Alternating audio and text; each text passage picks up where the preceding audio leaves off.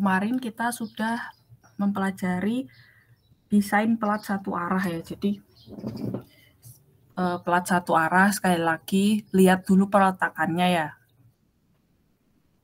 Jadi kemarin udah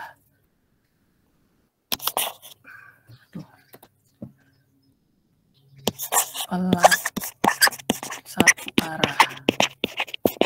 Nah, nanti kita akan masuk ke pelat dua arah.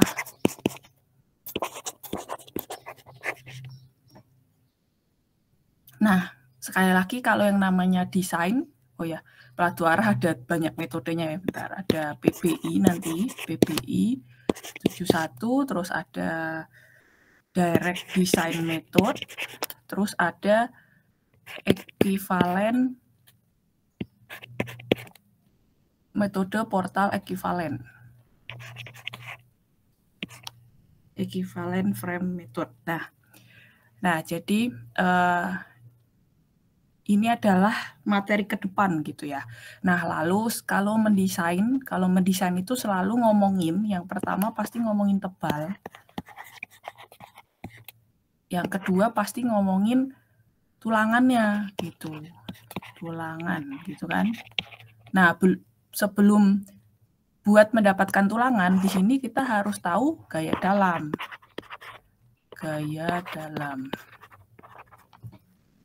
Gitu. Jadi selalu targetnya ini kalau ngedesain misalkan desainlah balok ya maksudnya berarti e, tolong tentukan dimensinya dan juga tolong desain tulangannya gitu output yang diharapkan dari teknik sipil adalah itu. Nah, terus, uh, nah kita kemarin udah belajar pelat satu arah nih, baik mendesain tebalnya dan juga mendesain tulangannya gitu kan. Nah, uh, kalau pelat satu arah, kalau pelat satu arah, uh,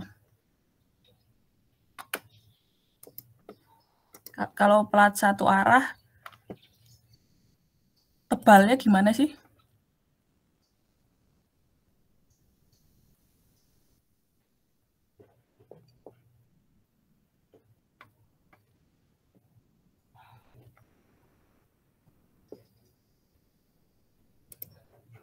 Kemarin tepat pelat satu arah tebalnya gimana?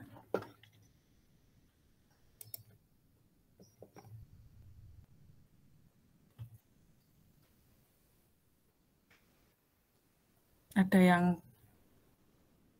mau menjawab?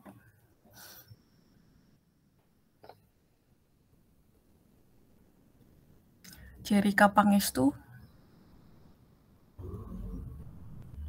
Iya, Bu.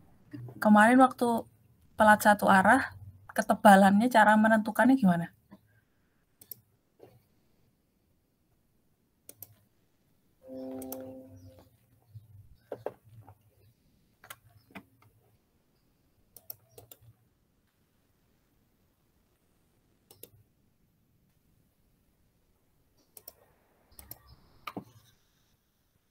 Gimana gimana? Kalau Bu ada di tabel Bu. Pertama dicek dulu Bu LX per LY-nya kan. Buat plat satu arah biasanya kan lebih besar ya Bu dari dua ya. Ya. Ya. Terus nanti ada di tabel ya Bu tergantung strukturnya. Ya. Biasa kalau cantilever kemarin tuh LX per 28 kan. Cantilever L per 10. Ya. Nah, ya. Oke. Terima kasih Steven, bener ya. Jadi kalau pelat satu arah segampang itu tuh pelat satu arah. Jadi uh, jadi saya mau pelan-pelan nih biar biar benar-benar masuk ya. Jadi kalau pelat satu arah itu uh, coba kita buka lagi ya.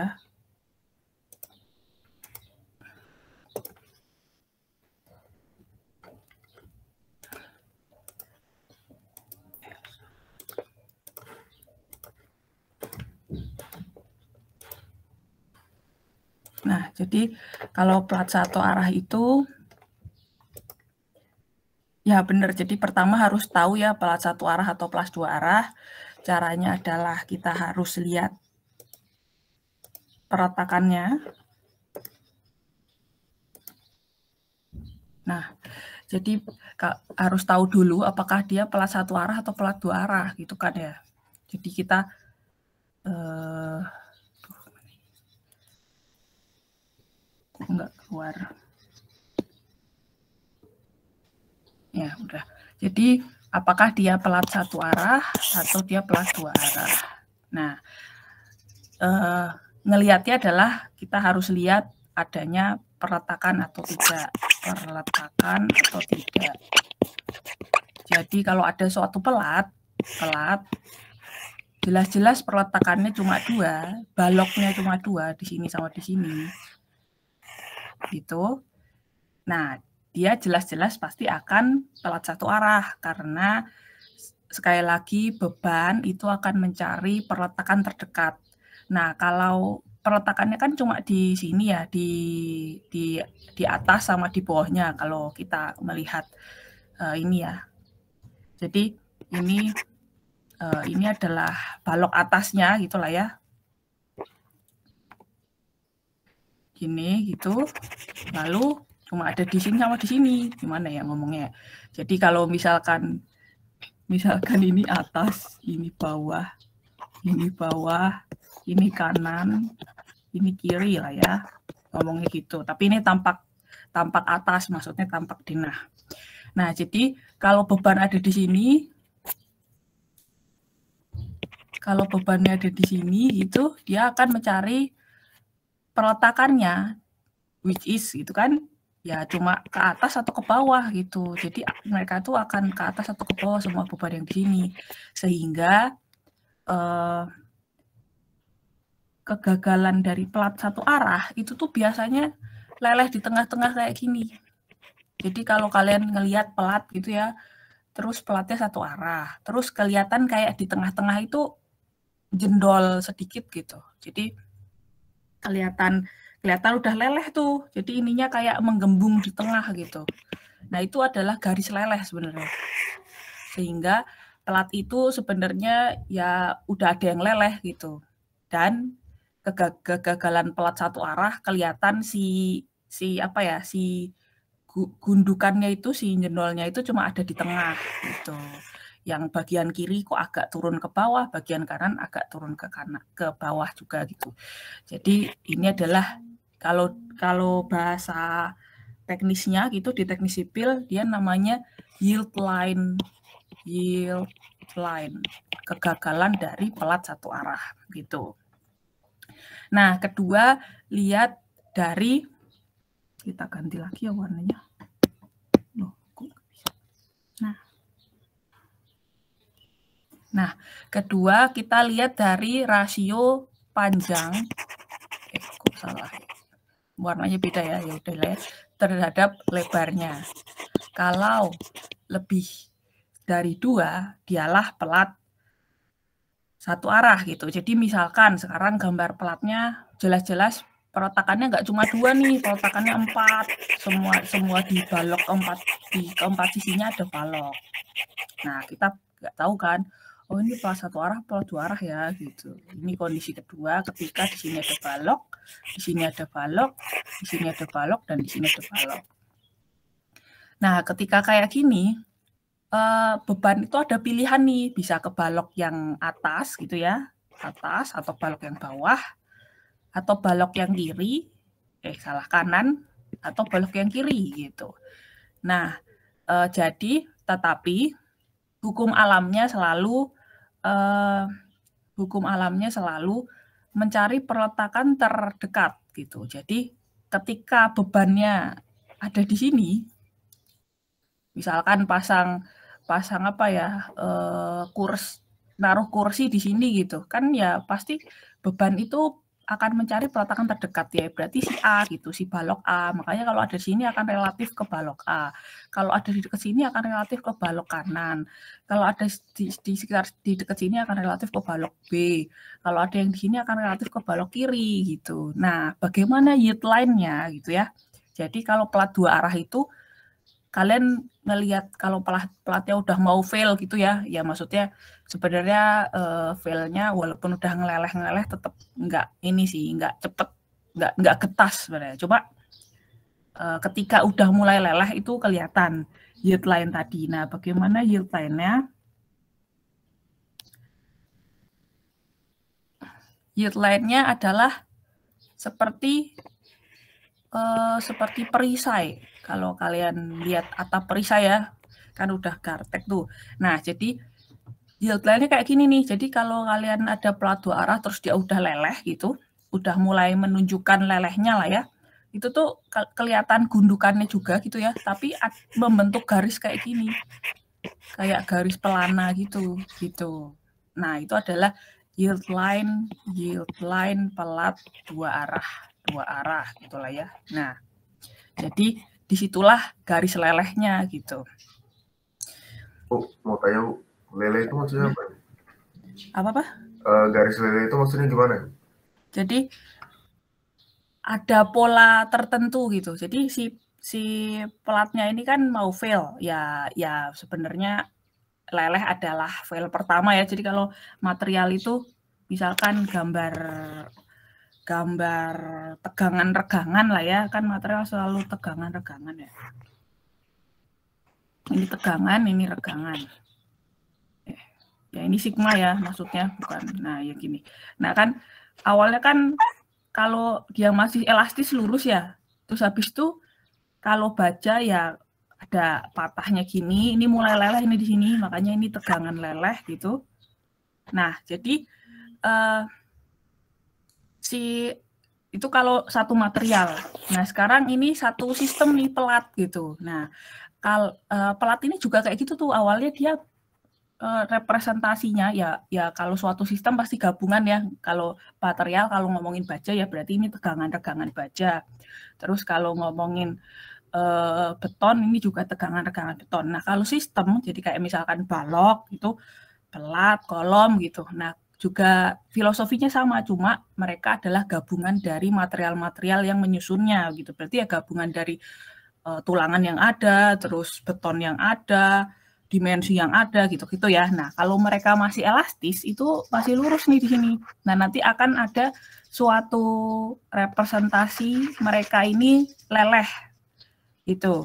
Eh, nah, ketika mereka mulai leleh gitu, nah karena karena plat dua arah ini tendensinya kayak gini ya. Kalau plat satu arah dulu aja lah yang gampang ya. Tendensinya itu uh, antara ke kanan sama ke kiri gitu. Jadi uh,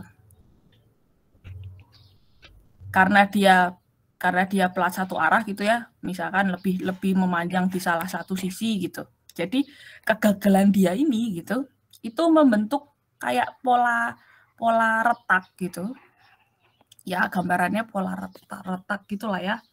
Uh, uh, biasanya agak agak menggelombang. nah itu udah mulai ada kelelahan itu di pelatnya, misalkan uh, apa tulangannya mulai leleh, terus uh, mulai ada retak, awalnya retak halus gitu-gitu ya. Nah, itu representasi itu semua tulangan leleh, retak halus dan mulai failure failure gitulah ya. Itu kan failure kan ada stepnya tuh. Nah, itu membentuk kalau pelat satu arah membentuk seperti ini gitu. Gitu. Jadi eh, apa nama teoritisnya adalah dirt line garis leleh gitu ya. Tetapi uh, aslinya itu kalau kalian ngeliatin suatu pelat gitu dan pelatnya satu arah gitu dan itu tuh bagian ya kan pelat harusnya rata ya, tapi kalian agak kesandung tuh gitu. Nah, bagian tengah kalau di pelat satu arah itu lebih lebih leb, menggembungnya cuma di bagian tengah gitu. Jadi gambarannya kalau kalian elevation gitu ya agak agak agak agak agak jendol di tengah gitu loh gitu jadi kalau kalian lewat sih kalian jalan eh kesandung gitu ini kok agak miring ke sini ya? Gitu. Terus habis itu cuma cuma cuma cuma cuma menggembung di tengah gitu terus kalian lewat lagi loh kok agak turun lagi ya? Nah gitu maksudnya. Gitu. Nah itu adalah kerat ke pola dari keretakan uh, failure lah ya lebih tepatnya failure dari pelat satu arah. Gitu sih sebenarnya. Gimana? Kira-kira.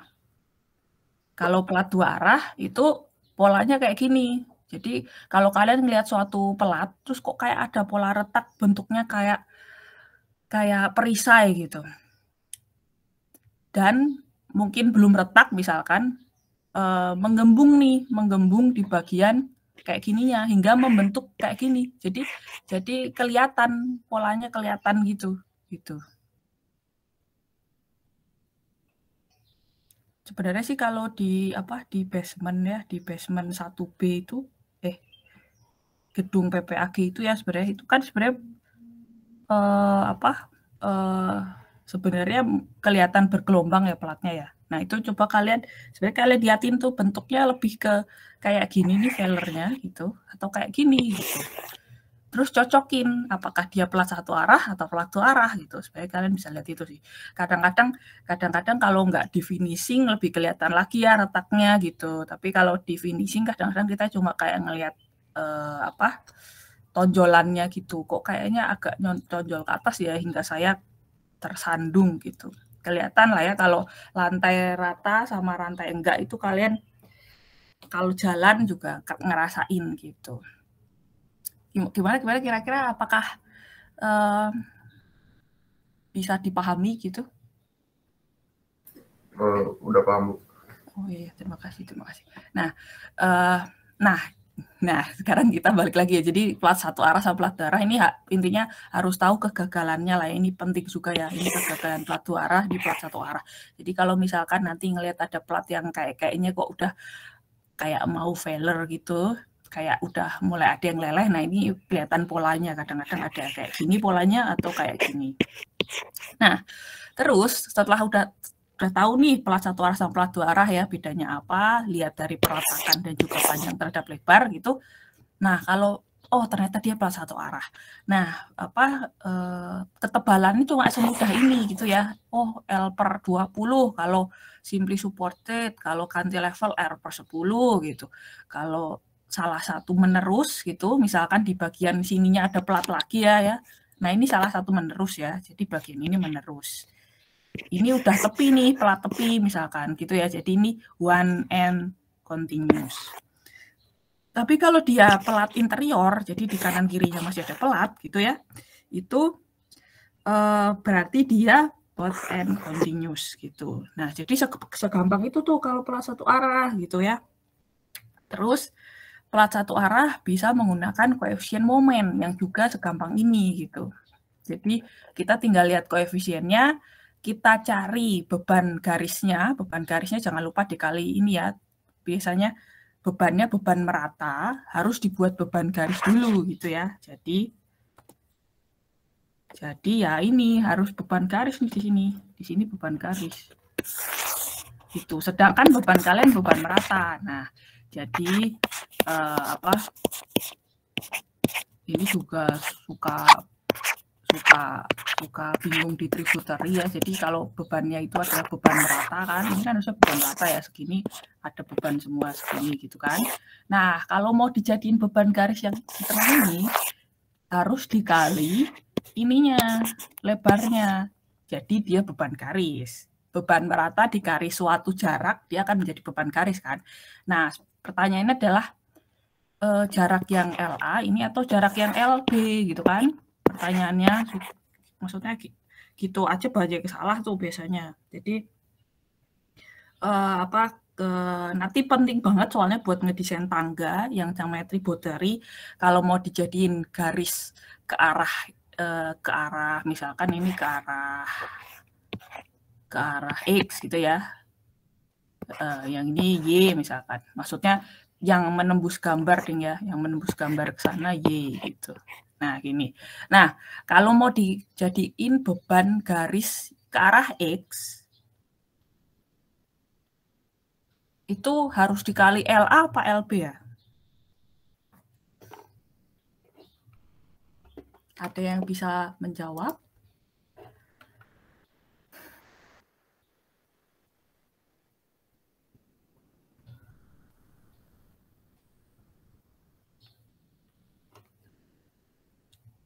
Bagaimana Bu maksudnya Bu? Kalau mau dijadiin beban yang ini kan beban merata ya, beban merata semua. Ini beban merata nih. Beban merata kan, area load gitu. Dan kebanyakan beban kan merata ya. LL biasanya diketahui merata, dead load diketahui merata gitu. Nah, mau dijadiin beban garis yang kayak gini nih. Yang ada di tengah-tengah balok. Dikali setengah L berarti. Uh, kalau misalkan ya dikali ke arah LA udah bener ya. Nah, kalau misalkan balok kedua itu adanya di sini. Ini ini balok pertama. Gitu ya. Lalu habis itu ini balok kedua di sini nih. Gitu. Nanti balok setelahnya ada di sana juga gitu. Nah, jadi ini kan antara antara balok jaraknya LA. Nah, setengah LA ke sini akan ke balok yang sini, setengah ini akan balok ke sini. Tapi jangan lupa ada setengah lagi dari sini. Jadi balok ke sini juga. Kalau kalau dia bukan balok tepi ya. Kalau dia balok tepi benar tadi setengah LA. Kalau dia bukan balok tepi ya dikali LA aja karena eh, di sini ada setengah LA, di sini juga ada setengah LA gitu. Oke, jadi dikali LA ya. Gitu. Nah, tetapi kalau kalau uh, oke ini LA gitu ya. Nah, tetapi kalau mau dikali mau dijadiin beban garis yang ke arah sini ke arah Y gitu, ngaliinnya LB ya gitu. Nah, ini kayak gini itu banyak yang biasanya masih salah gitu. Jadi uh, tributary area, konsep tributary area, jadi dari beban merata mau jadi beban garis, mau jadi beban terpusat, itu harus, di, harus dikali siapa. Kalau dijadiin beban terpusat ya gampang lah ya, tinggal dikali luasannya kan, dikali, dikali LA, dikali LB, jadilah di beban terpusat. Nah kalau beban garis ini mau dijadiin ke garis ke arah Y atau garis ke arah X gitu. Nah kebetulan balok kita adalah arah X. Jadi kita akan menjadikan dia garis arah X, berarti harus dikali LA. Ya gitu. Ya itu biasanya banyak yang lupa, jadi saya tambahin ya. Nah udah masuk sini nih nanti si beban garisnya kan. Nah, eh salah, maaf maaf. Ke WU maksudnya, ke WU gitu ya. Lalu LN adalah bentang bersih, itu kuadratin aja kalian koefisien, dapatlah kalian kalian ke dalam. Gitu deh. Nah, jadi uh, seperti itu, semudah itu sebenarnya uh, pelat satu arah gitu ya. Makanya kita review sedikit biar kalian paham paham banget lah.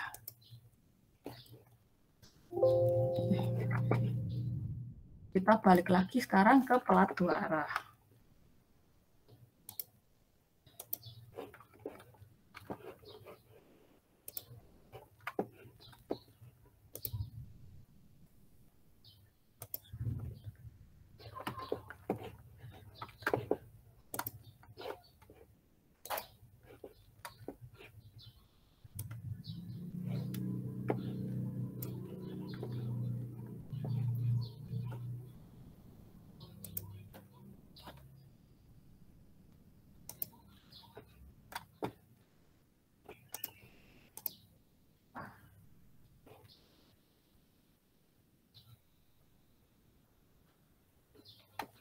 Nah, oke, okay, kita balik lagi ke plat dua arah ya.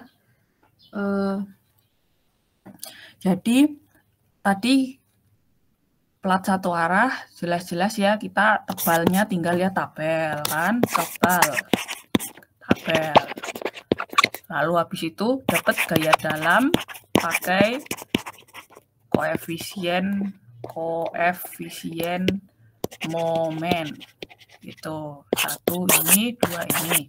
Terus habis itu tiga kalian desain tulangannya gitu kan ya. Tulangannya itu kayak beton satu gitu. Olah-olah mendesain balok dengan lebar satu meter karena pelat itu selalu per satu meter lari gitu. Ya udah deh pelat satu arah semudah itu. Tinggal lihat tabel tinggal pakai koefisien momen lalu kalian desain tulangan kayak beton satu. Nah, di sini bedanya kalau pelat dua arah itu buat nentuin tebal aja agak panjang gitu ya. Jadi kenapa makanya uh, saya pingin paham banget, maksudnya biar masuk gitu materinya itu pelan-pelan gitu. Nah nanti di sini tuh agak panjang nih kalau pelat dua arah.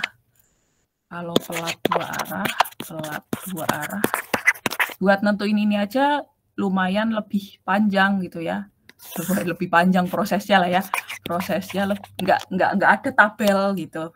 Ya sebenarnya ada tabel tapi isinya rumus dan kita harus mengerjakannya dengan proses yang lumayan prosesnya lebih proses lebih lama gitu ya. Nah terus gaya dalamnya sini nanti ada tiga metode kayak tadi ya.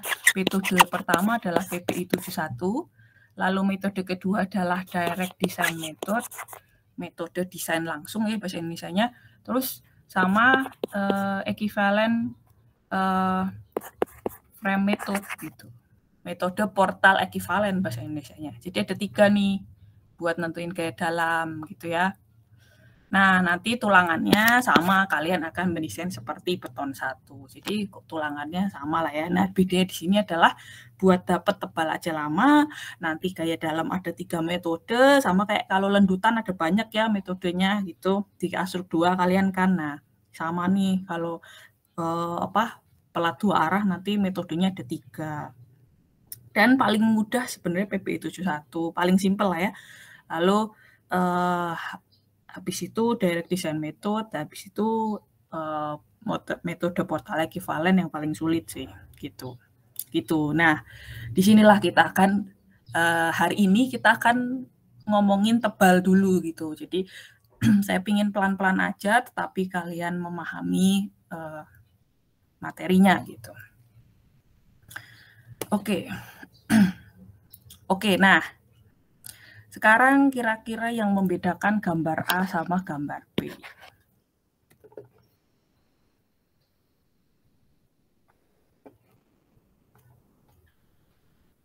Mau rakanya bisa minta tolong? Iya, Bu. Ya. Uh, kira-kira uh, kira-kira uh, ini kan sebenarnya denahnya sama ya denahnya sama nih ukurannya, maksudnya ukuran in total lah ya. Nah, kira-kira A sama B bedanya apa ya?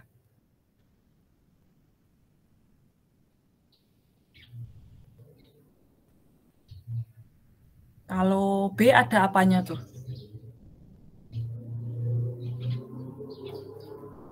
Ada baloknya. Ya ada ini ya, floor beams ini ya. Jadi ini ada balok anak nih ceritanya gitu.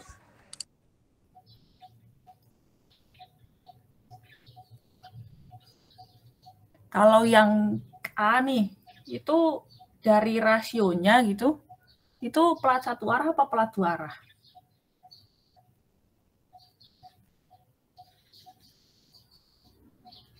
Dua arah bukan? Ya benar ya. Yang ini jelas-jelas dua arah ya karena panjang terhadap lebarnya berarti kan 28 dibagi 24 kan nggak ada dua tuh. Nah pasti adalah pelat dua arah gitu. Nah, sekarang kalau yang B gimana? Kira-kira panjang terhadap lebarnya gitu. Misalkan kita ambil kotakan yang mana ya? Yang ini deh.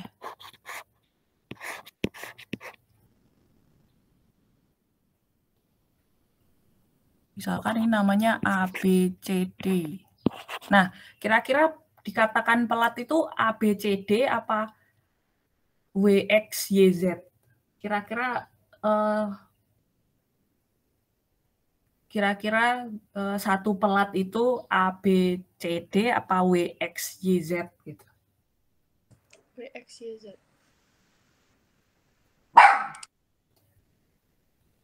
Kalau yang lain ada pendapat lain nggak? Teman-teman yang lain bagaimana?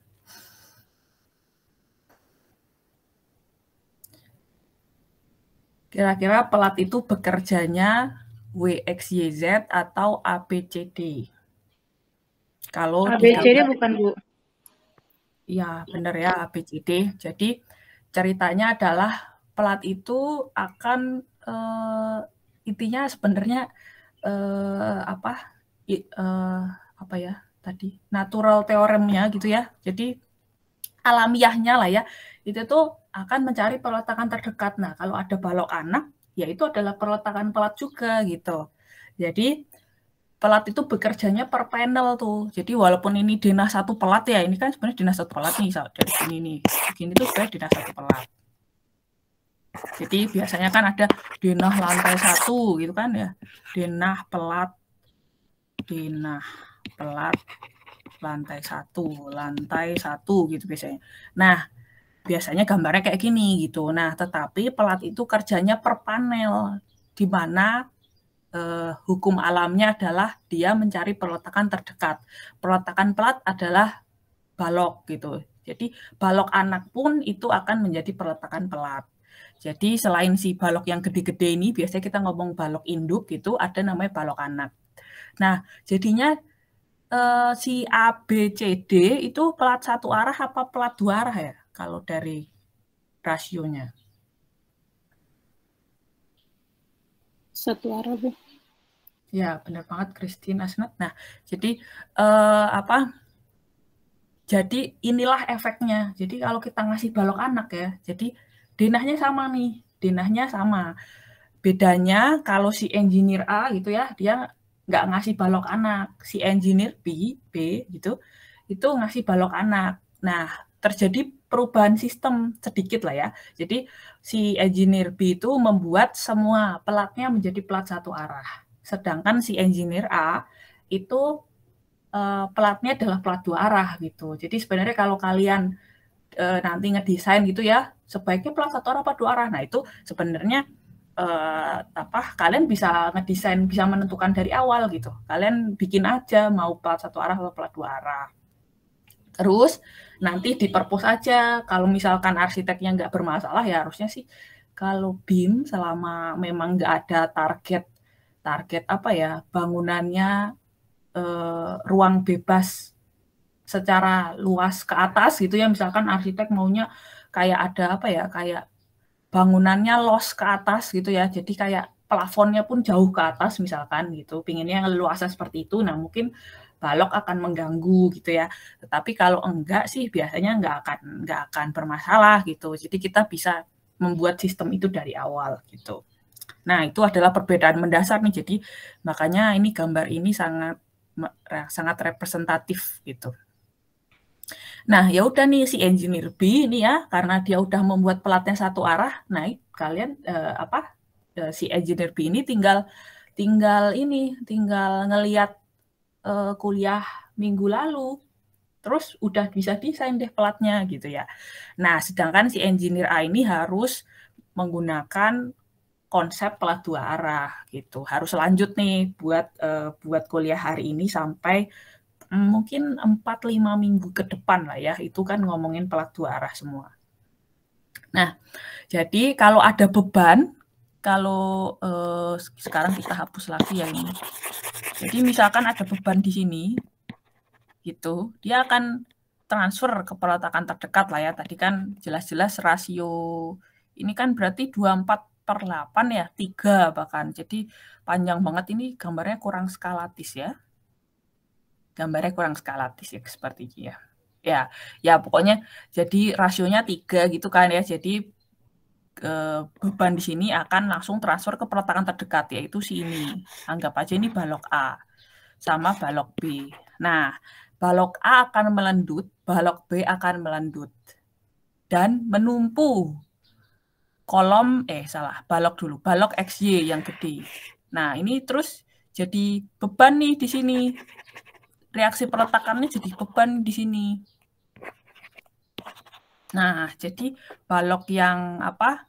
Balok yang X, Y sama WZ itu seolah-olah kayak dapat beban terpusat gitu. Karena ya karena ada beban karena ada balok anak ya. Ini adalah beban dari balok anak. Nah, terus habis itu si balok XY sama WZ itu melendut juga tuh, menumpu, dia keluar reaksi peletakan juga kan. Langsung masuk ke kolom X, ke kolom Y, buat balok XY, lalu ke kolom W sama ke kolom Z buat balok WZ. Gitu deh alur bebannya. Jadi load pads itu penting yang kemarin itu alur beban load pads. Nah, ini juga sangat penting. Nah, beda sama yang engineer A. Engineer A, kalau ada beban di sini, gitu, ya itu apa polanya gitu ya. Ya sebenarnya bebannya merata ya banyak gitu ya sekali lagi gitu. Nah akan membentuk kayak perisai tadi. Akan membentuk kayak perisai eh, ya ya lah ya gitu. Ya ya gitulah ya akan membentuk kayak perisai gitu. Jadi dan perisai ini merepresentasikan tributary area ya. Jadi kalau ini tadi kan yield line-nya kan kayak gini nih. Jadi uh, relatif relatif yang warna merah nih ini akan masuk ke balok A gitu. Lalu yang warna ungu gitu akan masuk ke balok B ceritanya tuh. Gitu. Nah, sama juga dengan yang perisai ini. Jadi yang warna ungu ini relatif akan membeba membebani balok WX gitu. Jadi semua beban di luasan ungu akan relatif membebani balok WX. Sedangkan eh, semua beban yang warna merah ini akan relatif membebani XY, balok XY. Lalu eh, warna apa lagi? Eh, biru sama ya, biru tua ada ya. Eh, lalu yang biru tua ini semua beban di luasan yang biru tua akan membe relatif membebani balok w, WZ. Dan terakhir oh apa terakhir warnanya? Kuning kuning. Uh, semua luasan kuning, semua beban di luasan kuning akan relatif membebani balok YZ gitu. Nah, Uh, jadi itulah tributarinya. Jadi sebenarnya kalau tributarinya kan beban merata tuh. Nah, dikalikan dikalikan uh, dikalikan misalkan dikalikan luasan merah gitu berarti kan jadi beban terpusat gitu ya. Ya plus minus semua beban itulah ya itu yang akan masuk ke balok X XY gitu. Ya sebenarnya kalau bebannya merata jadinya ya bebannya kayak trapesium ya jadinya ya. Ya soalnya memang ini sih. Jadi seolah-olah gitulah ya. Itu atau uh, atau ini ini uh, W WX ya, balok WX kalau kita lihat dari samping gitu seolah-olah kayak gini nih beban meratanya sih. Gini. Gitu. Memang bagian tengah akan lebih gede karena memang bagian tengah memang segini ini kan gitu. Memang lebih luas gitu. Gitu sih. Jadi uh, sebenarnya yield line ini merepresentasikan kecenderungan si beban itu, which is berarti merepresentasikan tributary dari beban itu. Itu. Ya udah deh, gitu ya. Uh, cara dapat beban garisnya gitu. Kalau engineer B tinggal dikalikan. Ini kan setengah ke kanan, setengah ke kiri ya. Ini juga setengahnya. Jadi dikalikan ini nih 8 gitu kan jadi beban garis kalau si engineer A gitu uh, beban garisnya ya ini kalau mau ngedesain WX gitu. Terus uh, kalau ngedesain XY ya berarti agak trapesium gitu bentuknya gitu ya. Dan seterusnya gitu. Ya udah deh kita lanjut nih kita sekarang menjadi engineer A nih yang nggak ngasih balok anak. Jadi kalau di nanti di tugas besar kalian mau kasih balok anak juga terserah kalian ya. Wah saya mau pelatnya satu arah nih gitu misalkan. Kalau ada pertanyaan langsung aja ya. Uh, Bu ingin bertanya oh. Bu. Itu kan boleh, Uh, untuk balok ke balok ya Bu. Kalau misalkan cantilever beban itunya nggak bisa langsung setengah panjangnya itu ya Bu. Nah kalau cantilever peletakannya cuma satu kan misalkan ya cantilever di sini. Misalkan ah mau bikin teras itu ya misalkan nih lantai dua mau bikin agak teras-teras. Kan biasanya gitu ya biar bisa ada jendela keluar dikit gitu. Nah biasanya kadang-kadang cantilever juga tuh soalnya kayaknya cuma semeteran gitu biasanya. Eh, gini lah ya. Ini satu meter kan biasanya Nah, sekarang tebal pelat cantilever harus berapa? Berarti L per 10 ya, berarti semeter dibagi 10 ya, berarti ketebalannya sebenarnya minimum 100, 100 mili ya, gitu. Dapat tuh ketebalan cantilever. Nah, terus cantilever itu adalah eh, pelat satu arah juga karena dia ya peletakannya kan cuma si balok balok ganti warna lagi ya ini balok merah di sini peletakannya. Jadi ya sel- seluasan 1 meter kali 24 feet. Seluasan segini beban seluasan segini akan disalurkan ke balok merah gitu. Mau nggak mau ya ya cuma cuma itu kok peletakannya gitu kan. Karena sekali lagi beban itu mencari perletakan terdekat di mana si pelat ini peletakannya cuma satu balok. Ya makanya dia namanya cantilever. Si balok merah. Jadi ya luasan satu dikali 24 feet semua beban di atasnya akan akan disalurkan sama si pelat gitu ke balok merah gitu sih tributerinya ya satu kali 24 feet gitu sih Ya, baik baik Bu. Terima kasih. Hmm.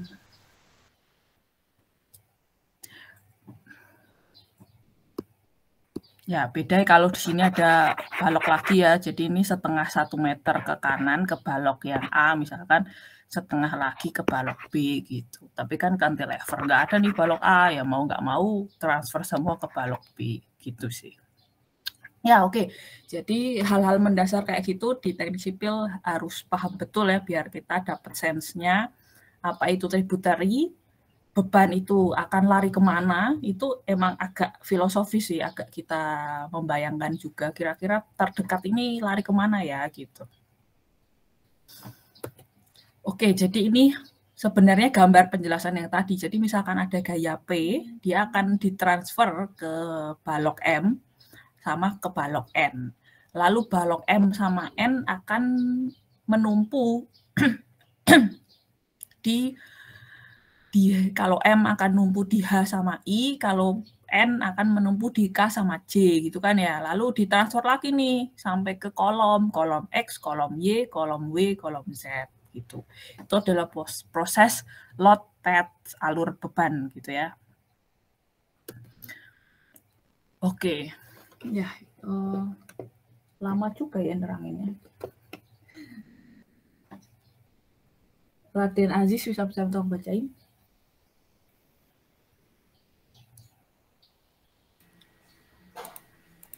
A- in a concrete floor system where the ratio of the longer to the shorter span length is greater than or equal to 2. It is common practice to provide flexural reinforcement to resist the entire load in the short direction and only provide minimum steel for temperature and strain edge effects in the long direction. Slab panel would have a long span to short span ratio of less than 2. Flexural flexural reinforcement would be provided in the two principal horizontal directions of the slab panel to enable it to carry applied loads in two directions. Ya, terima kasih. Raden Aziz Akbar. Oke, jadi bila suatu eh, pelat itu rasio bentang terpanjang dibagi terpendek lebih besar sama dengan dua, dia adalah pelat satu arah. Ini ya penjelasan pertamanya. Nah, kalau dia pelat satu arah gitu, bentang yang pendek adalah bentang utama. Ya, karena kayak gini lah ya. Nih, kan dia ini akan si si luasan merah akan ke balok A ya. Kita lihat yang ini ya. Luasan yang merah akan ke balok A, luasan yang ungu akan ke balok B. Nah, eh, apa? Jadi bentang utamanya adalah 8 meter. Jadi bentang utama dari pelat satu arah adalah bentang yang pendek. Bagaimana dengan bentang yang panjang yang 24 feet itu? Bentang yang 24 feet kalian hanya cukup berikan tulangan minimum yang ada di peraturan. Jadi peraturan biasanya ada ngasih tahu tulangan minimum pelat gitu. Eh, 0, eh, 0,18 persen gitu dari luasan pelatnya biasanya. Nah itu tulangan minimum tuh. Jadi yang jadi kalau ada tulangan X sama Y gitu ya, lagi ya. Jadi kalau ada tulangan X sama Y, pelat tuh kan biasanya ya ada tulangan yang gini-gini lah ya. Ngelihat kita ngelihatnya cuma panel ini lah ya biar gampang. Terus sama ada tulangan yang gini kan, tulangan kan pasti dua arah. Nah, yang ungu itu adalah tulangan utama pelat satu arah karena dia bentang terpendek, karena dia adalah bentang utamanya. Karena ya jalur beban tadi akan mencari peletakan terdekat di mana arahnya akan sama dengan si ungu. Jadi si ungu ini akan lebih menderita. Sedangkan si hijau, tulangan yang warna hijau itu cukup dipasang tulangan minimum gitu. Jadi kalau kalian melakukan koefisien momen gitu, kalian motongnya yang ke arah ini gitu, gini motongnya gitu. Jadi terus habis itu kalian koefisien momen yang gini-gini kemarin ya, eh, gini lah ya, gini, eh. Jadi oh, gini, set, terus potong lagi di sini gitulah ya. Jadi ini ngelihatnya matanya di sini ya. Ya gini lah ya, matanya gini. Ini momennya oh negatif berapa? Itu ambil paling parah aja samain aja deh gitu kan. Nanti negatif pasang di atas ya, langsung pasang ulangan di atas yang gini. Terus yang positif di bawah juga langsung pasang. Arahnya kan tetap ungu tuh, cuma di bawah gitu. Nah, yang dipotong adalah ke arah ungu karena dia bentang utama. Sedangkan ke arah hijau tadi, ke arah ini, tulangan yang ke arah sini, pasang tulangan minimum. Itu sih. Makanya di tugas kemarin kalian ngepotongnya ke arah yang pendek. Karena arah pendek adalah arah utama dari pelat satu arah. Gitu. Tadi seperti yang sudah dijelaskan sama Raden Aziz Akbar gitu ya. Itu eh, mana tadi? flexural reinforcement gitu di short direction. Di short direction nah jadi kita ngasih ini ya provide flexural reinforcement. Kita ngasih tulangan lentur untuk menahan beban di arah pendeknya gitu. Ini kata-kata gitu sih. Berarti dari sini deh. Provide flexural reinforcement to resist entire load in the short direction. Nah, ini berarti kita suruh ngasih tulangan yang nahan beban itu arah pendeknya. Sedangkan arah longnya cukup provide minimal minimum steel tulangan minimum.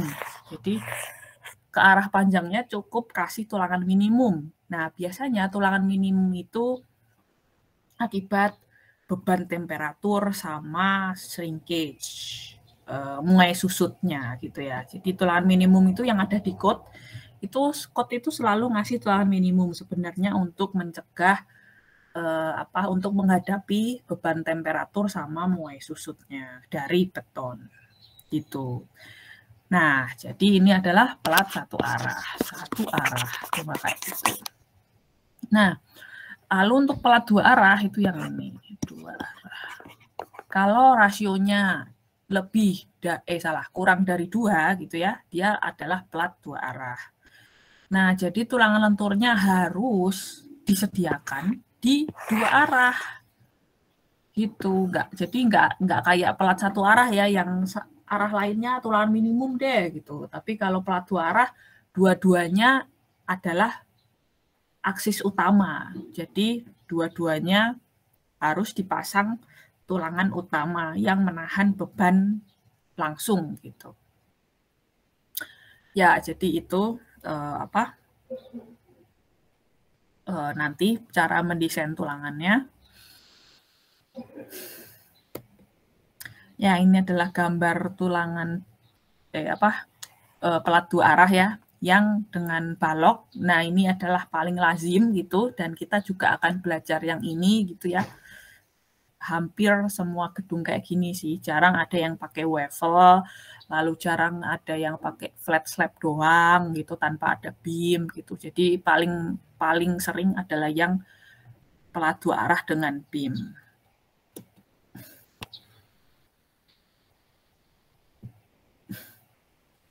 Nah, ada ada sebenarnya kita boleh baca tabel, tetapi ini cuma buat yang pelat dua arah tanpa tanpa beam interior gitu. Kalau dia adalah pelat dua arah dan nggak ada beam interiornya gitu, itu boleh kita lihat tabel. Boleh gampang ceritanya. Kalau pelat dua arah tanpa beam interior. Silakan buat eh silakan lihat tabel. Nah, di sini kelihatan intinya adalah F yield lah ya, F yield dari tulangan gitu. Terus apakah kan nggak ada beam interior ya, gitu ya, nggak ada beam interior. Tapi bisa jadi dia ada beam tepi. Jadi ini tanpa beam tepi, ini dengan beam tepi. Tanpa beam tepi, ini dengan beam tepi. Jadi ceritanya kalau ada denah tuh, ada denah. Denah ya. Ya ini hijau ini asnya dulu lah ya. Ini saya gambar asnya dulu lah ya. Nah, yang di tengah-tengah tuh nggak ada beam gitu. Beam tuh cuma ada di yang merahnya doang gitu. Ini namanya beam tepi kalau ini. H beam di sini maksudnya itu H beam yang ada di tabel gitu ya. Jadi kalau ngelihat ada uh, denah denah apa ya denah denah lantai lah ya, terus beamnya cuma di tepi-tepinya, di tengah-tengahnya nggak ada beam nih, jadi si hijau cuma as ya, jadi nggak ada apa-apa terus di hijau terus habis itu uh, apa ya ini kolom ya ini kolom kolom gitu kan ya ini kolom kolom di sini juga cuma kolom misalkan. Di sini juga kolom ini kolom gitu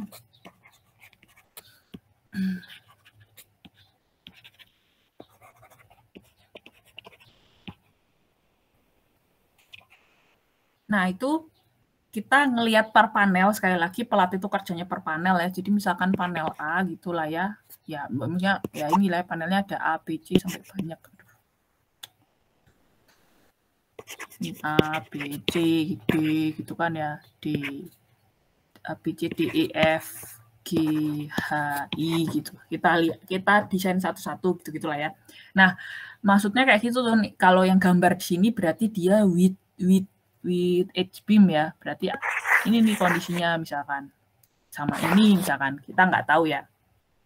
Kita nah terus habis itu oh ternyata mau ngomongin si si apa ya si si uh, selanjutnya adalah ini apakah dia panel eksterior atau dia uh, atau dia panel interior itu Terus habis itu apakah dia ada drop panel atau dia nggak ada drop panel. Jadi drop panel itu kayak kemarin itu ya jadi bagian kolom ada oh ya bagian inilah ya ada perbesaran gitu. Jadi kalau tampak elevation view-nya itu kayak kolomnya ada ini baru pelat gitu. Ada apanya ya? Ada capital di sini. Kolomnya membesar dulu. Kalau biasanya ada di kalau kalian lihat di basement-basement sih, tapi jarang juga sih sekarang udah pakai capital. Ya gitu jadinya. Itu ceritanya kalau eh, apa kalau tidak ada beam interior. Jadi ini tabel ini nggak akan berlaku ya buat ini karena ini beam interior nih. Ini ceritanya masih lanjut lagi ya, lanjut lagi gitu kan ya. Terus udah jelas ini di yang melintang ini adalah beam interior. Jadi tabel ini hanya berlaku buat denah yang seperti ini. Yang nggak ada beam interior, adanya adalah beam tepi. Atau nggak ada beam tepi juga bisa ya. Jadi flat slab gitu. Jadi pelat langsung ketemu kolom gitu, berarti masuknya without H beam gitu. Masuknya ini ya, masuk masuk masuknya ke sini atau ke sini gitu kan. Tinggal dia adalah bentang eksterior atau bentang interior juga ya. Kalau eksterior berarti masuknya ke sini gitu. Ini eksterior kan without kalau flat slab. Nah, eh, dan jelas-jelas misalnya nggak ada drop panel gitu ya. Terus bagian yang panel interiornya pakainya ini. Jadi misalkan eh, eh, gambarnya, aduh, nggak ada beam merahnya ini loh, nggak ada beam merahnya. Kan ini berarti flat slab gitu karena cuma pelat ketemu kolom. Kan namanya flat slab. Ya gini lah ya. Jadi cuma pelat ketemu kolom. Terus nggak ada capital misalkan nggak ada ini nih. Ya berarti bagian pelat interior E kan jelas-jelas interior ya ambilnya yang ini interior panel misalkan FY 420 deh ya udah berarti ambilnya LN per 33 ln per 33. Jadi ketebalan si E ini ambilnya yang ini. Gitu. Lalu habis itu apa nih? Eksterior. Nah, tanpa kan ya, ya ambilnya ln per 30. Gitu. Misalkan apa? Misalkan A gitu ya. Itu berarti tebalnya adalah ln per 30 minimum. Sedangkan yang E minimum ln per 33 gitu. Itu kalau jadi kalau flat slab without edge beam, tapi kalau ada beam tepi ya pakai yang with with edge beam. Ya udah deh, ini kalau seperti itu ya. Sedangkan normalnya bentuknya adalah seperti ini. Ya, maksudnya kebanyakan bentuknya seperti ini, di mana beam interior itu ada. Jadi kalau beam interior ada, itu harus kita ngelihat, kita harus pakai ini nih. Nah ini nih yang lama nih buat buat apa namanya buat buat ketebalan pelat aja kita ha harus lama nih. Jadi ceritanya adalah uh, ya gambarnya berarti kayak gini ya. Semuanya ada beam. Jadi uh, hijau ini langsung bukan as ya, hijau ini langsung beam gitu. Jadi Terus di sini ada kolom. Jadi di antara kolom ada BIM ya. Langsung gitu. Ya, ini gambarnya agak jelek. Ya udahlah ya. Pokoknya gitu.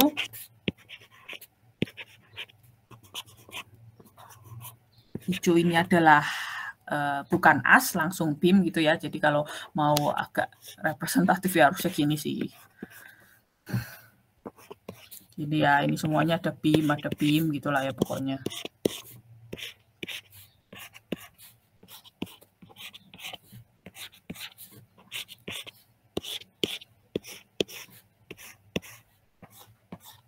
Waduh, lama juga ya. Ya gitulah.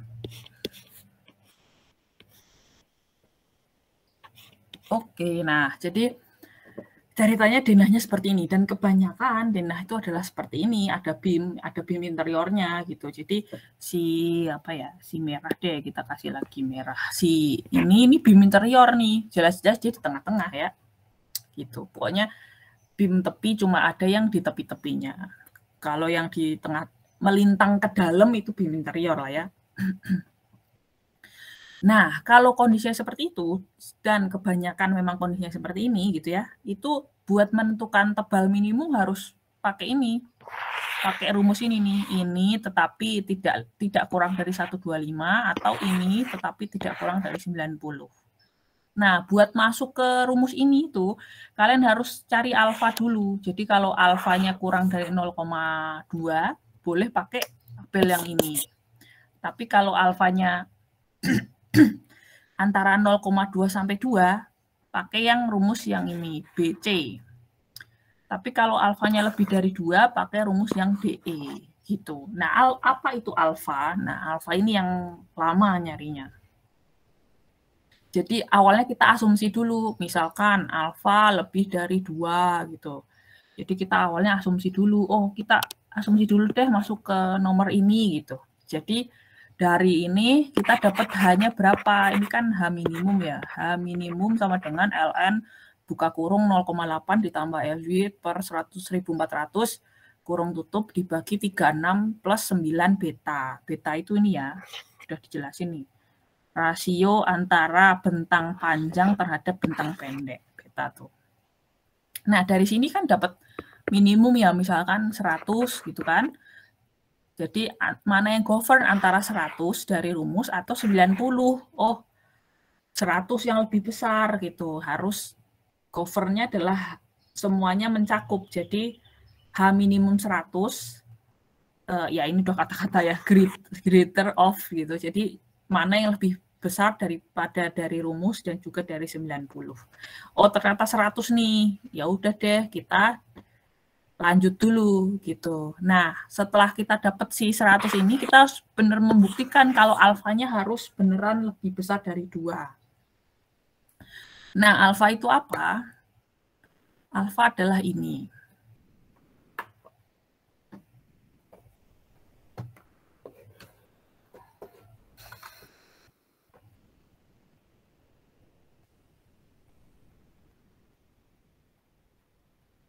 Citra bisa tolong bacain?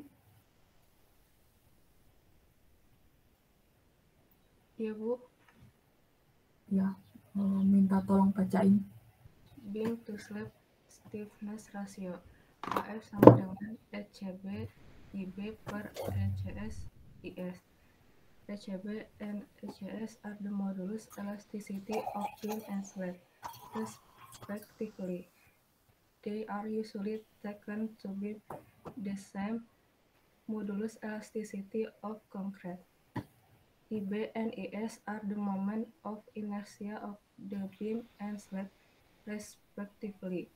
The section considered in computing the value of IB and IS are shown below.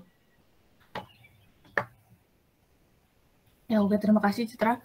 Jadi, apa itu alfa? Alfa adalah rasio beam terhadap slab.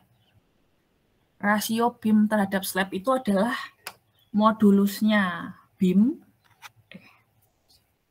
Modulus ECB itu adalah modulus konkret beam ya. Jadi modulusnya beam dikalikan inersia beam dibagi modulus slab dikali inersia slab.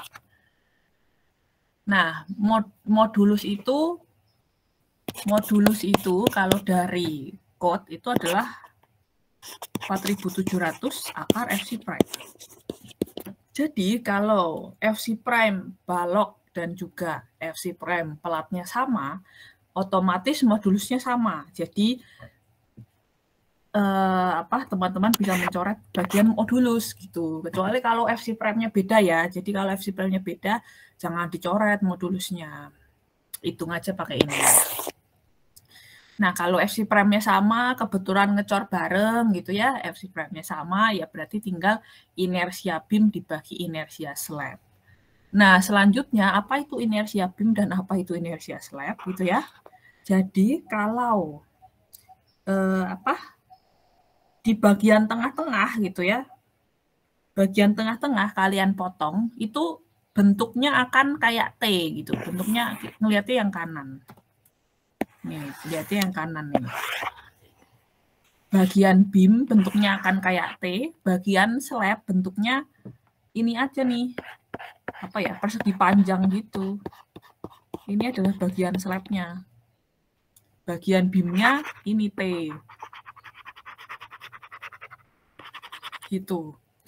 Jadi kalau kalian potong nih bagian sini nih, set set set gitu ya potong. Potong lihat kiri gitu ya. Itu gambarnya kayak gini, si beam akan bentuknya kayak T, si slab ya ini eh, apa? segini nih, ya kotak sih, kotak gitu. Gitu. Jadi kalau inersia slab tinggal seper 12 B pangkat 3 ya. Gampang nih cepet. Seper 12, B-nya adalah, kita lihat ini ya, L2 per 2, L2 per 2. Jadi L2 setengah L2 ke kanan, setengah L2 ke kiri. Itu adalah eh, apa B. Itu adalah B. Berarti ya L2 berarti ya. B-nya L2. Lalu H-nya ya si ini tebal pelat hanya. Tadi kan udah nebak ya. Oh, oh pakai kategori ini deh. Oh ternyata H minumnya 100 gitu. Ya udah berarti ini 100. Gitu. Terus udah deh dapat inersia slab. Masuk ke sini. Gampang ya inersia slab. Nah, inersia balok harus inersia penampang bentuknya T. Di sini eh, teman-teman flashback kembali ke bagian mekanika bahan. Jadi kalau ada penampang, cara cara cari inersianya gimana? Ya itu dibuka-buka ya mekbannya. Jadi harus cari dulu X bar kan, cari X bar nih. Oh, dapat X bar gitu kan. Lalu inersia adalah IX0 eh, ini ya. Misalkan inersia X adalah inersia X0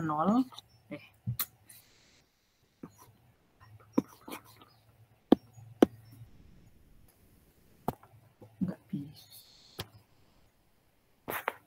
Hmm, Nah, in, aduh, inersia x0 ditambah eh, apa ax a delta delta y kuadrat gitu ya. Ya ini ini kalau lupa ini harus ke Mekban lagi ya. Jadi eh, buat dapat inersia penampang yang betul kayak kayak gini, kalian harus cari sentroidnya dulu. Biasanya sih Mekban nyari X bar sama Y bar.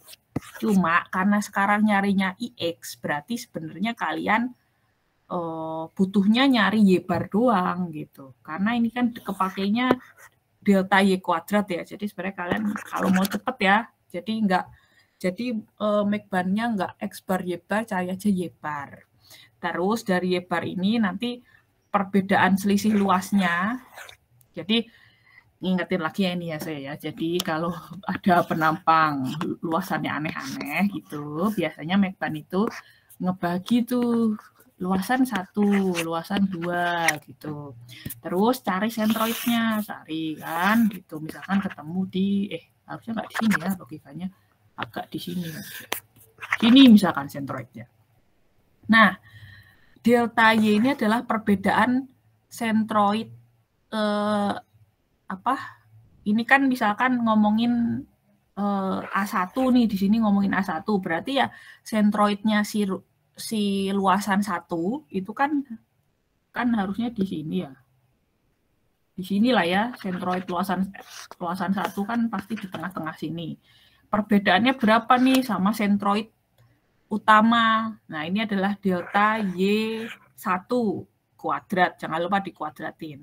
Nanti A2 juga gitu. A2 dikali sentroidnya 2, misalkan uh, sentroid 2 agak di atas kan ya. Ya tengah-tengah lah ya. Di 50 kalau tebal platnya 100 kan di sini nih. Nah, ini bedanya berapa ini sama sentroid barengan gitu. Jadi dia delta Y2 kuadrat. Terus habis itu ini juga cuma uh, apa seper 12 BH pangkat 3 dari uh, apa uh, luasan 1 sama seper 12 BH pangkat 3 dari luasan 2. Ya ini cuma nge-review Macban ya. Nah, nanti kalian dapat nih inersia X. Ya itulah inersia BIM. Nanti dapat sini gitu. Nah, setelah itu catat alfanya. Dapat alfa kan?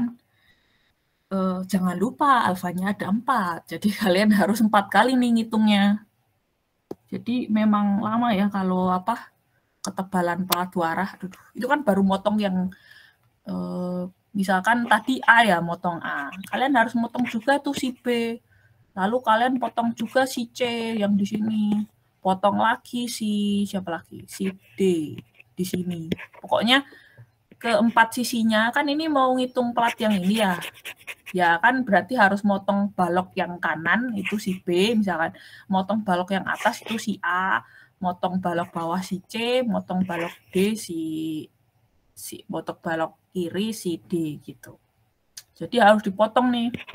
Keempat sisinya semuanya dipotong. Jadi kalian harus empat kali ngitung alfa. Nanti udah dapat alfa A alfa A ditambah alfa B, ditambah alfa C, ditambah alfa D, di mana ini uh, tumbuhannya si si panel X ini semua ya. Satu panel ini tumpuan satu panel dibagi empat karena rata-rata. Nah, setelah dapat ini, apakah benar nih ternyata lebih besar dari dua atau enggak? kalau ternyata asumsi kalian salah, oh ternyata kurang dari dua, kalian harus ganti nih ke sini, rumusnya pakai yang ini. Terus kalian ngecek lagi, kan rumus pakai yang ini, haminnya beda lagi ya, haminnya beda lagi. Kalian cek lagi alfanya lagi, oh ternyata asumsinya sudah benar gitu. Jadi panjang yang eh, apa menghitung ketebalan pelat dua arah gitu, tetapi memang peraturannya seperti ini. Jadi uh, saya hanya menyampaikan biar kalian tahu benernya gimana buat buat mendesain ketebalan pelat dua arah. Begitu. Nah, kira-kira gambarannya adalah seperti itu ya. Jadi harus asumsi dulu dapat H minimum, harus cari tiap alfanya, alfa rata-ratanya berapa, apakah sesuai dengan asumsi. Nah, itu kalau di tengah-tengah ya. Jadi kalau motong di A, di B, di C, di D, bentuknya akan kayak gini nih. Bentuknya akan T. Tetapi kalau motong di mana? Misalkan kita mau ngelihat panel yang Z deh, ini Z misalkan. Panel Z ini. Berarti motong ini apa ya istilahnya? Misalkan ini L.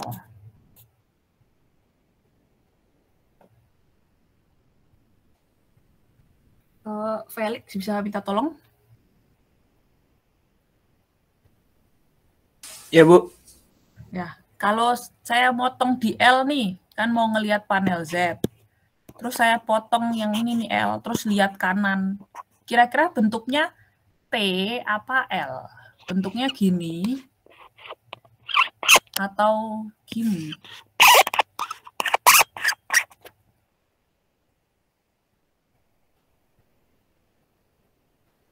Yang kiri bukan sih, Bu? Nah, yang kiri itu yang mana? Yang T ya? Kenapa yang T? Kan potong L ya, potong L. Bagian sini ada si Z kan, sini kan si pelatnya Z. Yang bagian kanan ada pelat lagi nggak? Oh iya, yang kanan ya, Bu ya? Iya, jadi di sini kan kosong ya, nggak ada pelat. Makanya bentuknya kayak gini. Gitu. Jadi penampangnya L ya, bentuknya L gitu, bukan T. Kalau motong yang ini, kira-kira bentuknya mot K deh ini K misalkan. Kira-kira bentuknya T apa L?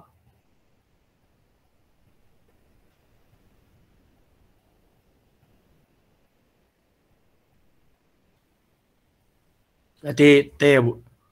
Ya, benar. Karena di kanannya juga ada pelat kan. Jadi Pelat. bentuknya kalau dipotong akan T bentuknya. Kalau ini M, kalau motong M, eh, aduh. motong di sini deh, M gitu.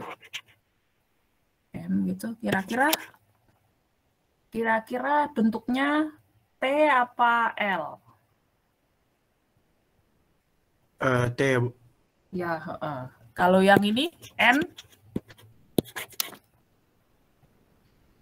L, Bu?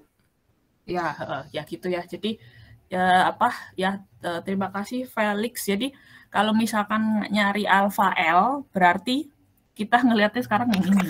Tuh. Yang ini ya, yang coret-coret.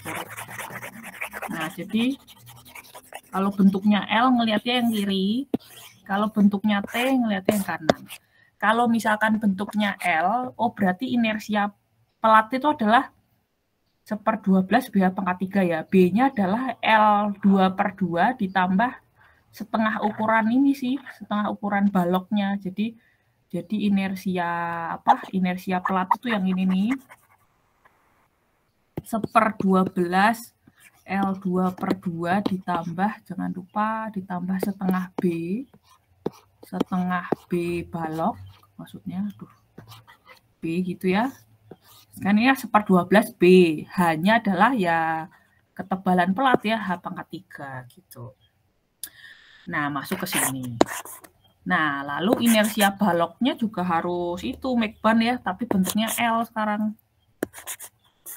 Gitu. Nah, nanti dapat alfa L, alfa L sini. Alfa L bentuknya L. Alfa N bentuknya L juga. Pakai yang ungu. Lalu alfa K sama M bentuknya T jadi pakai yang merah gitu.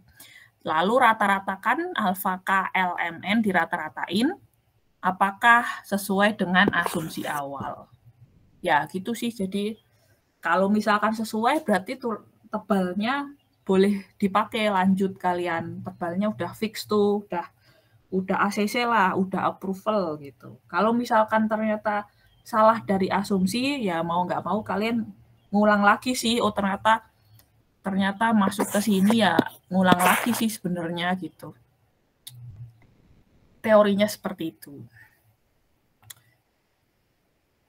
Nah, ya, ya ada Uh, saya mau tanya dulu Bu, yang Boleh, yang boleh. slide tadi eh, yang ada potongan A terus B sama C sama D itu Bu.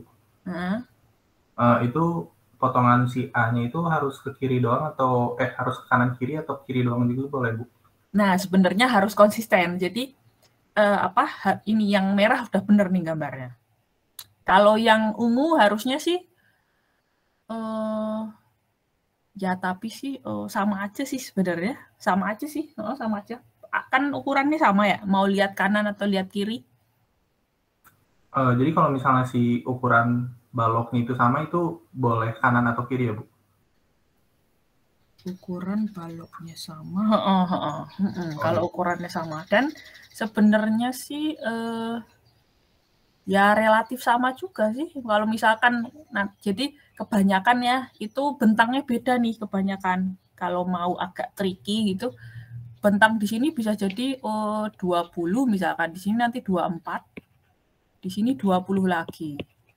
Nah sebenarnya kan kalau mau ngelihat ke kanan apa lihat ke kiri tetap aja ukurannya 20 24 20 jadi jadi si M ini tetap aja nanti bentuknya adalah T gitu ya. Terus bagian pelatnya bagian pelatnya ini kan pelat itu sebenarnya setengah L2 ke kanan setengah L2 ke kiri. Nah sekarang kondisinya bentangnya beda nih, berarti setengah 20 sama setengah 24.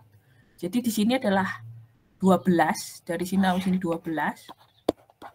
Dari sini sampai ke sini 10 gitu. Gitu sih sebenarnya ya. Paling yang tricky di bentangnya beda sih. Terus kalau balok, misalkan balok, eh ya sama juga motong kanan sama kiri. Kan baloknya prismatis ya. Maksudnya eh maksudnya ukurannya 300 kali 400 terus gitu. Jadi ya sebalok ini nih ukurannya akan ini nih baloknya akan 300 gitu ya. Segini akan selalu 400 mau lihat ke kanan apa lihat ke kiri kan. Gitu sih paling. Oke, makasih Bu. Iya. Ada lagi, ada lagi? Bu, eh, mau tanya Bu. Boleh. Potongannya itu harus di tengah-tengah bentangnya gitu. ya? Potongannya harus di tengah-tengah bentangnya. Jadi Iya. ya, potongannya di tengah-tengah gitu. ya? Ya, ya sebenarnya sih, bentar, potongannya harus tengah-tengahnya. Ya, kalau dipotong agak minggir, bentar, bentar, agak dibayangin dulu. Potong agak minggir, ya sebenarnya, misalkan potong agak minggir nih, baloknya tetap tengah-tengah kan ya? Maksudnya, misalkan mau motong di, hanya agak di pinggir gitu kayak. Ini nih, motong agak di sini misalkan. Bu. Nah, tampilannya tetap kayak gini kan? Tapi eh, tinggi eh, huruf T-nya kan tingginya jadi beda nggak Bu? Sama sih, sama kok. Tingginya jadi berapa Bu? Kalau kalau tingginya tingginya tetap ukuran balok kan. Jadi ini tetap 400 misalkan ukuran baloknya 400 ini 300 segini.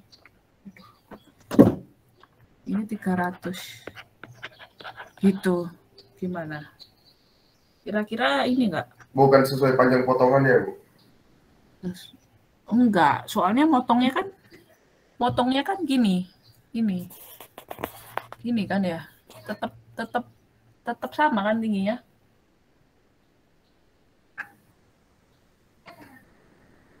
Oh jadi sesuai ukuran baloknya aja ya. Iya. Eh, ada lagi, ada lagi? Waduh, jadi ke ini.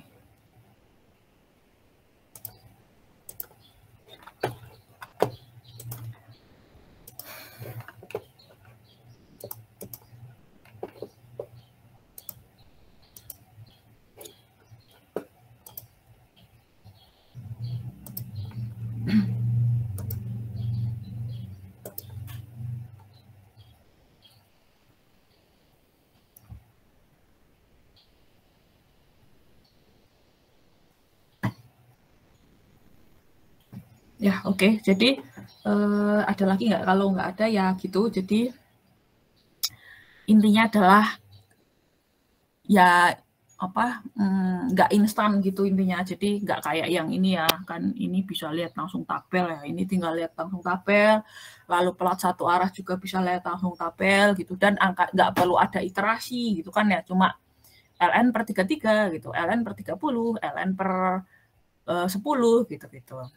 Tapi kalau yang pelat dua arah ini agak harus iterasi karena harus asumsiin dulu alfanya gitu. Dan alfanya ini harus rata-rata dari balok-balok penumpunya. Kalau baloknya ada empat, jadi harus rata-rata dari keempat baloknya.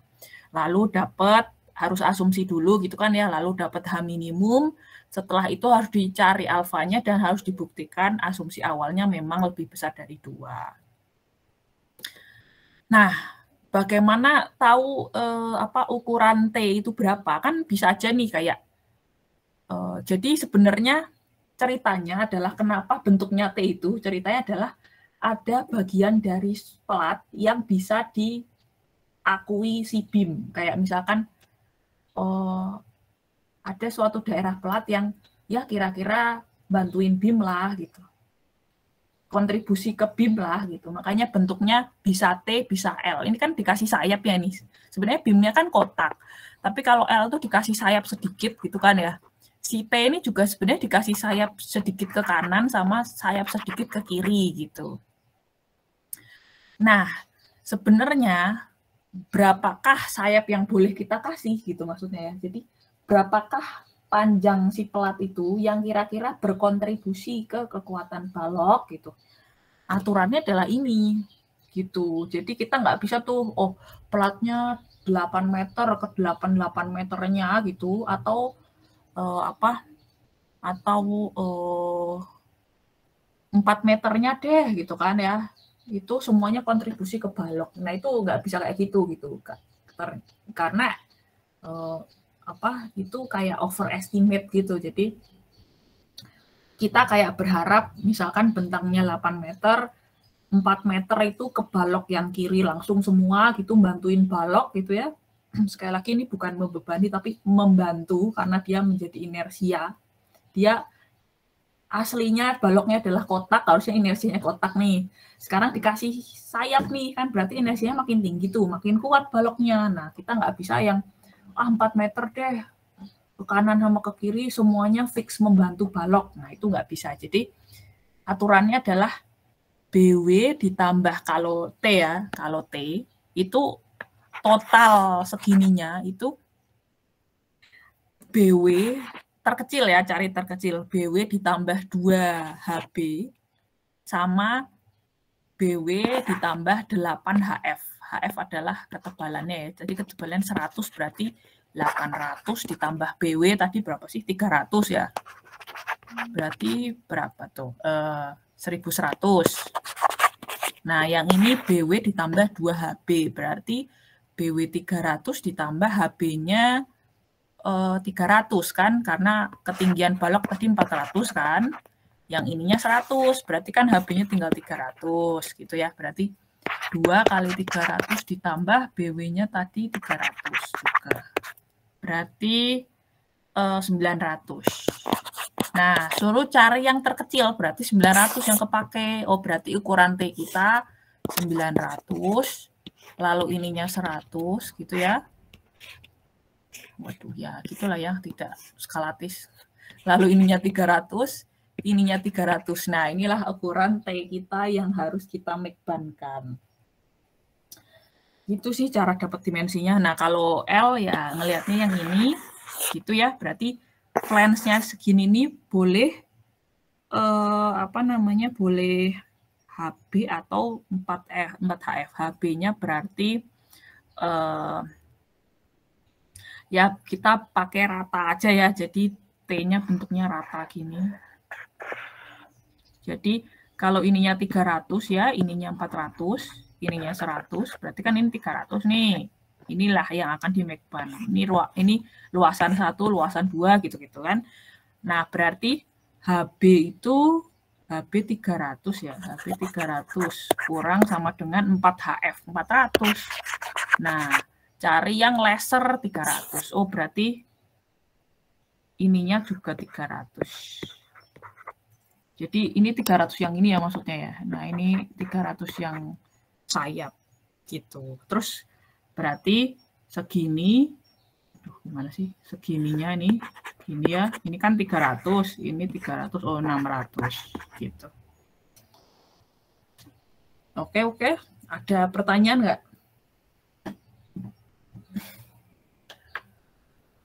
Jadi kalau motong agak di apa tadi ya eh, apa motong agak ke atas, potong agak ke bawah gitu, sebenarnya bentuknya akan sama. Bentuknya akan sama nih gitu. Jadi harusnya no problem.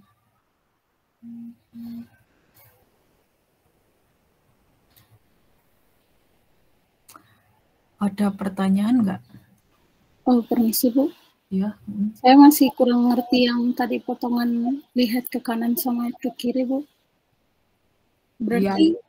Kalau misalnya eh, panjang balok kanan sama kirinya itu meskipun berbeda, eh, bisa dilihat dari kanan atau kiri, yang penting kons- konsisten ya, Bu. Iya, oh. Dan sebenarnya sih kebetulan ngelihat kanan atau kiri itu sama aja gitu.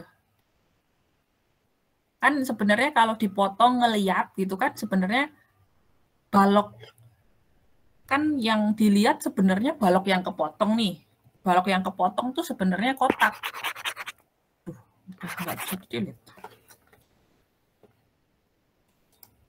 Tuh?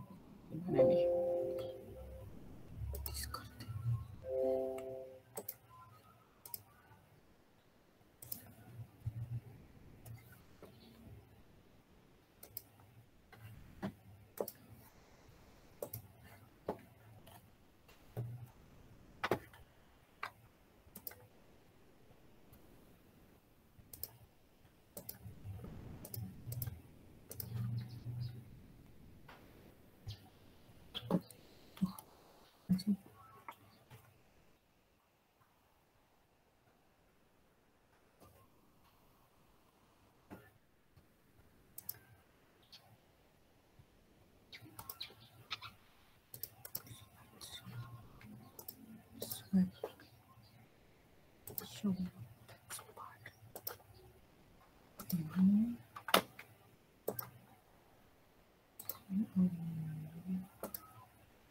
Oke.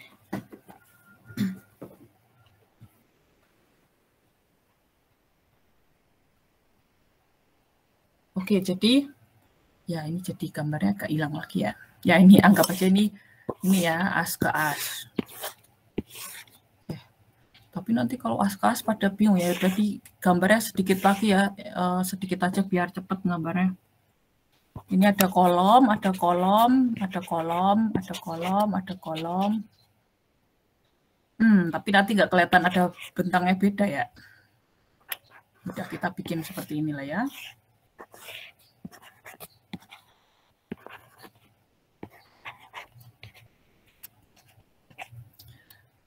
Nah, kalau ini antar kolom ada balok.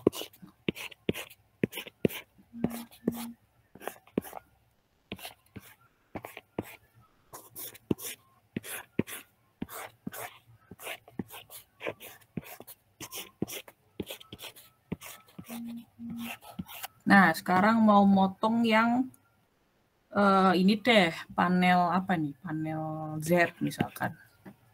Nah, kalau motong kalau kan motong ke apa? keempat sisinya. Intinya sebenarnya adalah eh, potong gitu. Coba aja dulu satu dulu lah ya, potong sini. Dan sebenarnya kalau lihat kiri sama lihat kanan sama aja. Jadi misalkan ini berapa? Misalkan ini 10 meter.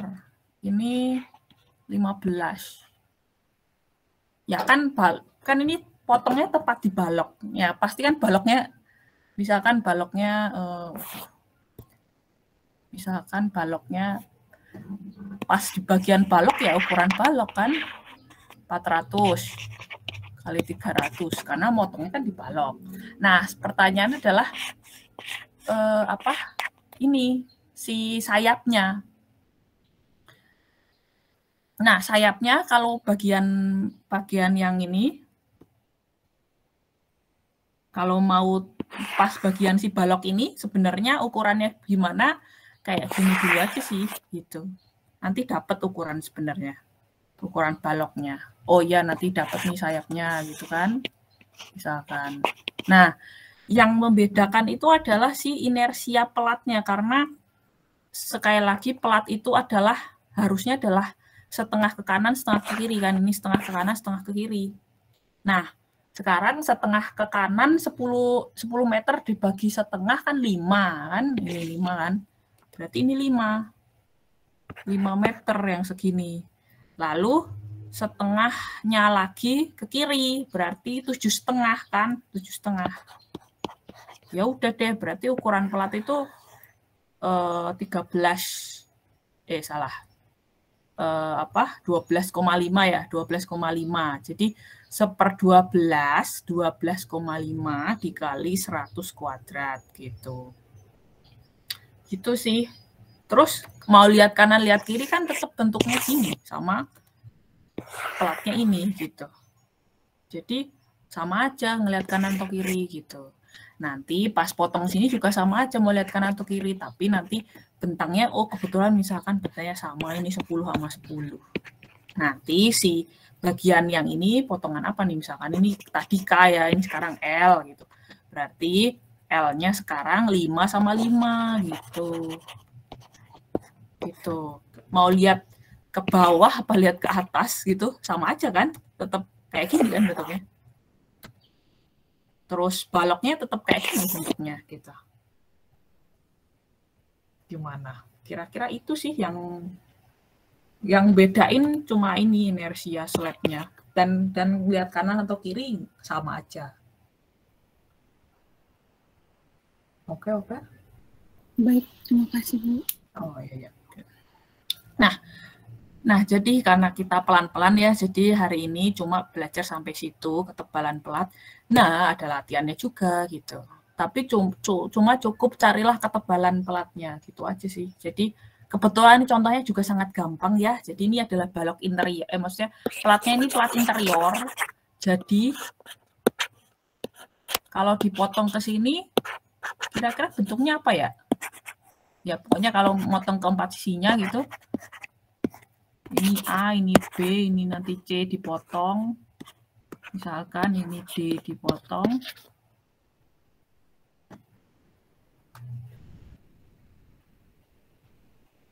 Jason bisa minta tolong? Iya, Bu. ya kalau motong A bentuknya apa ya? T apa L? T, Bu. oke B Motong B. T juga, Bu. oke C T juga, Bu. ya D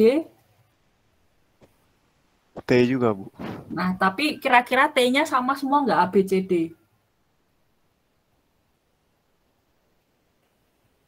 Enggak, Ada Bu. Harusnya nggak sama. nah kenapa tuh apa yang beda Karena dimensinya yang beda, Bu. Dimensi baloknya ya. Nah, jadi Iya. yang sama apa kira-kira nanti T-nya? Eh, yang sama tuh potongannya tuh kira-kira A sama, A sama C, A Ya. sama C. ya benar. A sama C akan sat- nanti jadi teman-teman nanti menghitung inersia balok itu dua kali karena motong si A sama motong si C ini dapat satu ukuran T yang sama. Eh, gimana sih? Ini dapat ukuran satu T yang sama. Oke. Ini iner, ini inersia balok A sama inersia balok C nanti sama. Satu kali hitung megbannya. Terus habis itu D sama B itu juga sama. Inersia balok B sama inersia balok D akan sama. Ukuran T-nya. Nah, ini jadi dua kali nge-megban ya, nanti dapat inersia X. Di sini juga nanti dapat inersia X. Terus habis itu hitung alfanya tuh. Habis hitung alfanya terus rata-ratain gitu. Tapi awalnya asumsi dulu lah ya. Jadi asumsi dulu, masuk sini dulu aja, masuk sini. Lalu pakai rumus ini, kira-kira harus berapa nih ketebalan pelat? Baru motong-motong yang tadi. Kalau asumsinya udah, oh bener kok ternyata lebih besar dari dua, ya udah deh. Berhenti, selesai. Itu adalah ketebalan pelat yang benar.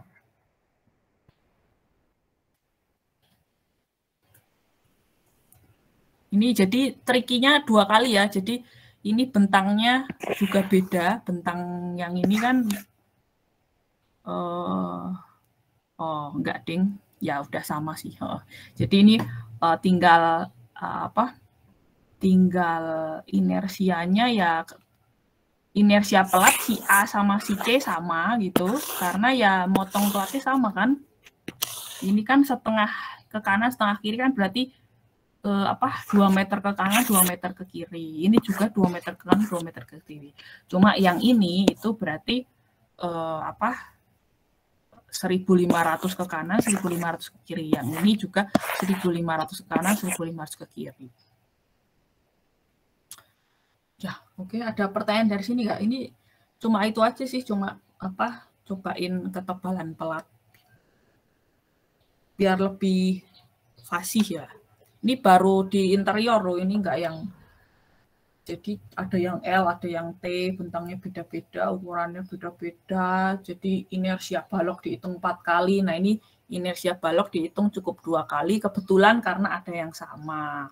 Kalau misalkan soalnya ada dua L dua T eh baloknya beda nah berarti L-nya aja ngitung dua kali T-nya ngitung dua kali jadi empat kali tuh gitu nah ini ceritanya interior jadi sama-sama T, cuma baloknya yang beda sehingga eh, cukup ngitung dua kali. Lalu inersia pelatnya juga kalau searah gitu kan cuma sama ya gitu. Cuma dua lah inersia pelatnya. Dan inersia pelat juga cuma seper 12 berapa tiga sih, jadi sebenarnya cepat. Gitu. Yang sebenarnya yang agak lama ngitung eh, inersia baloknya gitu sambil mereview-review MacBan-nya lah gitu sebenarnya masih gampang sih ini Terus karena dicari IX, inersia X, kalau MacBan itu nyarinya inersia dua arah ya, IX sama IY. Nah, kalau balok itu pasti di kalau masangnya gini, kalau masangnya gini kan balok masangnya gini nih. Lalu ngelen, ngelentur itu kan ini bentang X, ini ini aksis X, ini aksis Y. Ngelenturnya pasti ke arah X gitu baloknya tuh jarang ada balok ngelantur ke sumbu minor, sumbu Y gitu. Makanya kita butuhnya inersia X karena kita baloknya ini akan melentur ke arah X gitu. Beda kalau kolom ya, kalau kolom itu ngelenturnya kedua arahnya, dua-duanya dominan, jadi kita mungkin harus mencari inersia X sama inersia Y. Cuma ya ini ngomongin balok aja sih, jadi inersia X aja yang dicari, jadi nggak perlu nge-make ban yang inersia Y, ngelama-lamain kan nggak perlu nyari sentroid X. Ya kebetulan sentroid X kelihatan sih karena simetris pasti di tengah. Kalau Y, sentroid Y pasti Y bar pasti akan kelihatan nggak di tengah karena penampangnya akan membesar yang bagian T-nya kan membesar bagian atas jadi pasti Y barnya agak ke atas nggak pas tengah-tengah gitu sih.